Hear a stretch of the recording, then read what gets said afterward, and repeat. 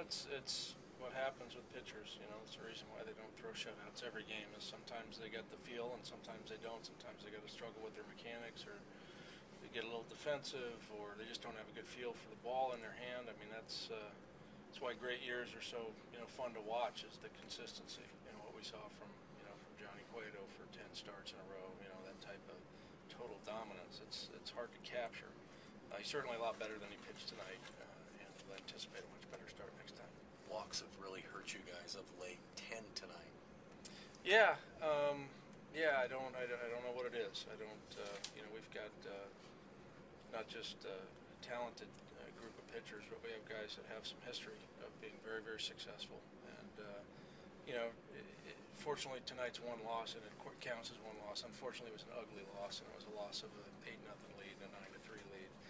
And that is one of the types of losses that affects everybody. You know, it wasn't a, you know, uh, the one in Pittsburgh stunk, but you know it was extra innings and it happened. But you know these these hurt. They don't happen very often. If you do this long enough, everybody sees them. Get a big lead and you don't win the game, and they stink. Um, but we got to get over. it. We got to counter punch tomorrow. I thought a big play in the game was Schumaker's at bat in the seventh inning with a guy on second. Kawasaki made that great play. If he doesn't make that, Broxton has a two-run lead coming out in the eighth, at least. Yeah, no, it's. Uh, I mean, they, they, you know, you think about the things we did wrong. They did a lot of things right. You know, they were the ones laying off the pitches. They were the ones that, that battled back, and when they got a good pitch, they hit it or hit it hard, hit it out of the ballpark. I think four doubles, four homers.